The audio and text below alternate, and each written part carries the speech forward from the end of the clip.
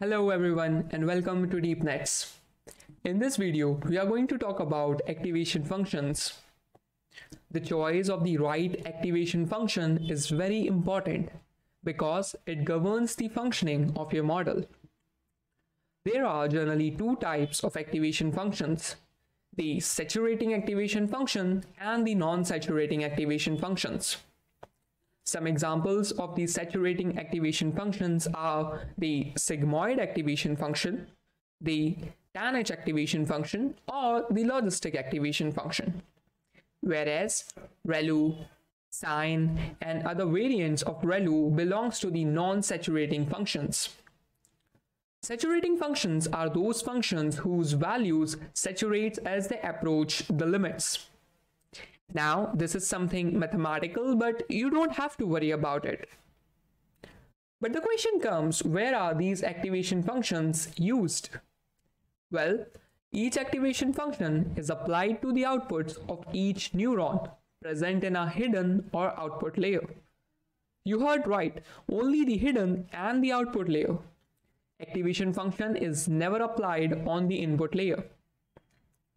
Concerning about this particular hidden layer, it consists of multiple neurons. When the inputs are fed to this hidden layer, each neuron gives an output value. Instead of directly feeding this output to the next layer, it is first passed through an activation function. After that, these outputs, or so-called the final outputs, are passed to the next layer. The choice of the activation function on the output layer depends upon the range of values you want to output. Whereas the choice of activation function for the hidden layer depends upon what kind of nature you want from your model. If you do not choose any activation function, then by default it will behave linearly. An activation function also decides how the gradient descent algorithm is going to converge to the final solution. Okay, let's look at different activation functions and understand how they work. Let's start with the most common activation function, the sigmoid activation function, also called the logistic activation function. As you can see, the graph of a sigmoid activation function looks like S, ranging from 0 to 1. The domain of the sigmoid activation function is from negative infinity to positive infinity, which is going to be the general case for all activation functions. That means this function can take in any value, but it will always output values between 0 to 1. This is generally useful when you want your model to output probabilities, like in a binary classification task. Let's see it's working. First, the inputs are fed to a particular neuron. The neuron produces its output, but the output is passed through the sigmoid activation function, which gives us the final output. The final output always ranges between 0 to 1. The softmax activation function is a more generalized form of the sigmoid activation function, especially made for multi-class classification. Here, I have used the terms like binary classification and multi-class classification. If you are not familiar with these terms, in simple word, these are the types of problem that we try to solve using machine learning or deep learning. I have a separate video on the types of machine learning task. The link is in description. Let's have a look at the tanh activation function. The domain of the function is from negative infinity to positive infinity. That means the function can take in any value.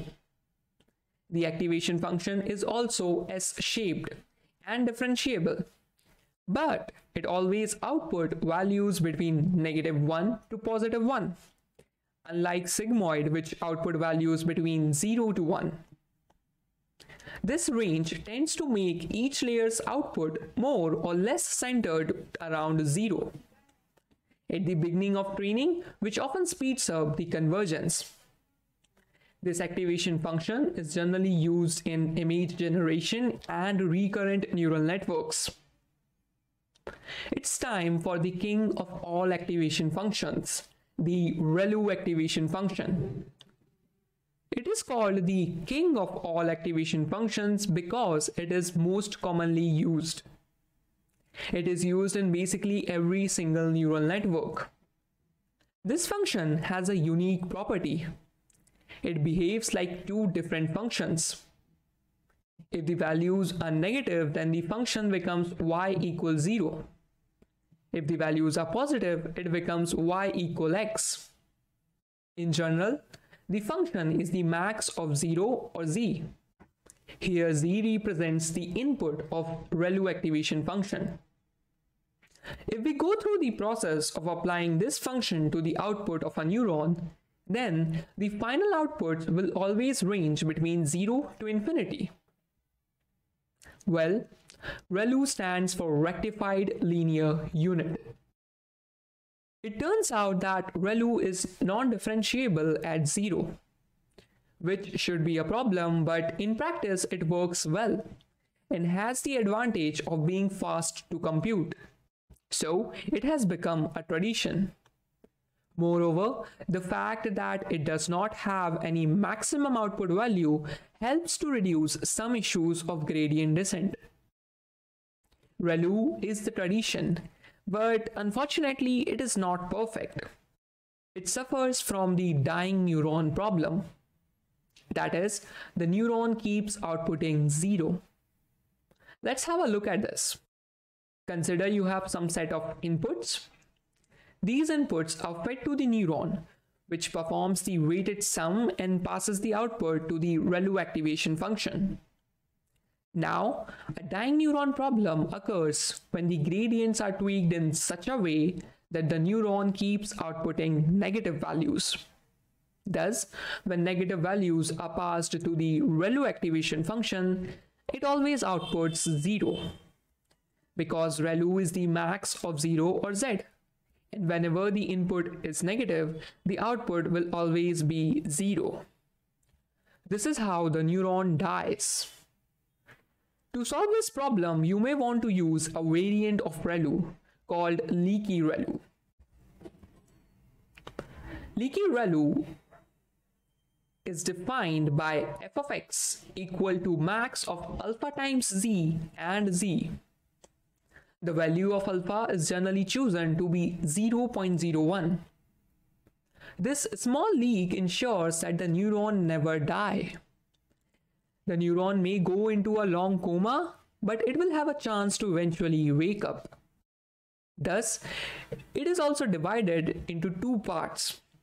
The part with positive values is still the same, but the part with negative values has now changed it to alpha times z or z. The overall process still remains the same. Keep in mind that the hyperparameter alpha defines how much the function leaks. A 2015 paper compared several variants of ReLU and the conclusion came that leaky ReLU outperformed ReLU. In fact, setting alpha to 0.2, a huge leak, seemed to perform better than alpha equals 0.01.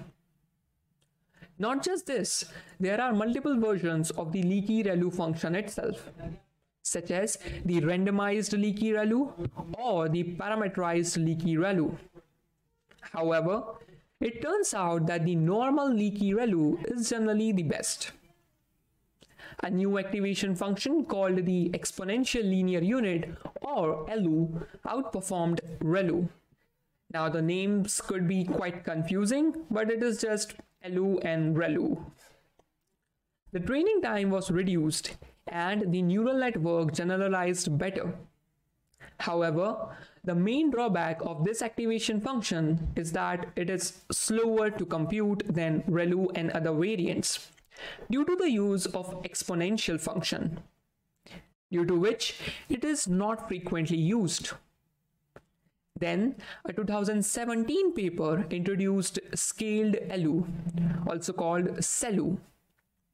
This is a scaled variant of ELU activation function. The authors showed that if you build a neural network with all hidden layers using SeLU activation function, then the network will self-normalize. The outputs of each layer will tend to preserve a mean of 0 and a standard deviation of 1. During training, which solves the unstable gradient problem and outperforms other activation functions. However, there are few conditions for this to happen. Like your model should be sequential, your model should use a LeCun normal initializer, and many more. In general, SeLU is better than ELU, which is better than leaky ReLU, which indeed is better than ReLU, which obviously is better than the saturating activation functions. Still, ReLU will achieve a good solution in many cases. Leaky ReLU and its variants are applied using layers, not activations. This is something which we will understand once we start coding the network. That's all for today. Now, as you have made till the end of this video, I want you to hit the like button and subscribe to the channel for more such videos. Here is the video for coding a multi-layer perceptron Otherwise, I recommend you to check out my playlist so that you can gain access to all my videos in a single click.